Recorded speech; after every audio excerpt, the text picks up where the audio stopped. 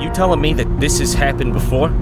Doc, what is wrong with the respawn machine? Uh, it doesn't always work like it's supposed to. Some get stuck inside trying to come through. What the hell are you talking about, Doc? There's a rumor going around the internet. This website popped up out of nowhere and suddenly became popular.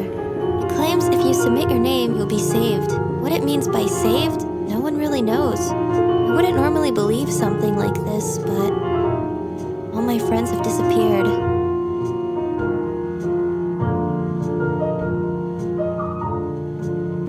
You really believe something like that? That some dumb website has the power to make people disappear?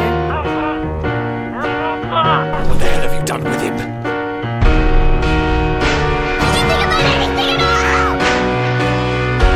I had a gun, I'd shoot you, you sick bastard!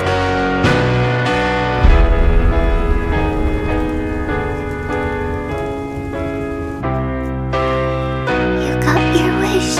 You're going to see your friends again.